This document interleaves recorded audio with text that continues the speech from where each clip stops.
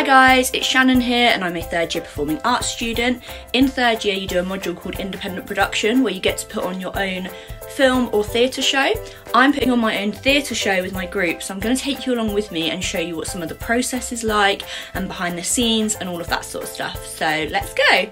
A little sneak peek of the script. So there's all the character descriptions and then we have all of this. Um, yeah, complete with all of my notes and highlighted and all of that. Play is called Pretty Prestige and it's based in a beauty salon just on the outskirts of London.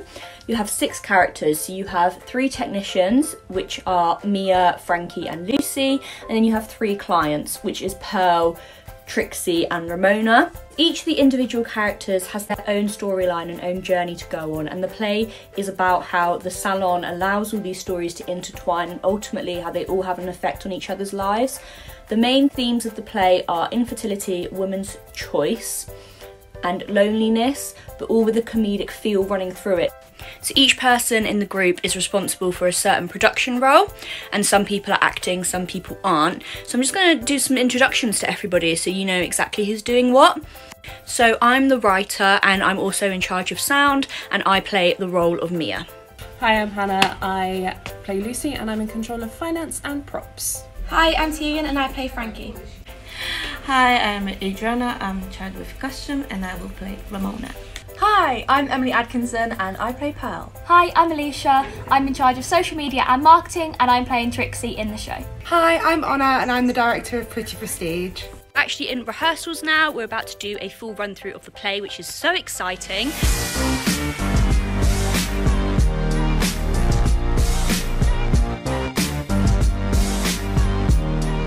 Here's a little sneak preview of our set. We've got some nail varnishes, some cotton pads, loads of stuff in these trolleys.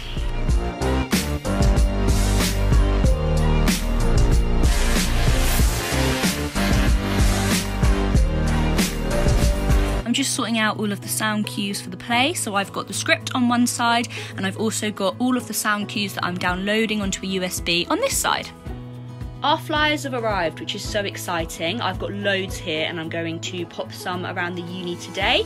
I thought I'd just show you one of them. So on the front we have obviously Buckinghamshire University and we've got our poster, name of the show, and then on the back we have a blurb, um, all the ticket information. This is honestly so exciting. I'm going to keep one of these forever.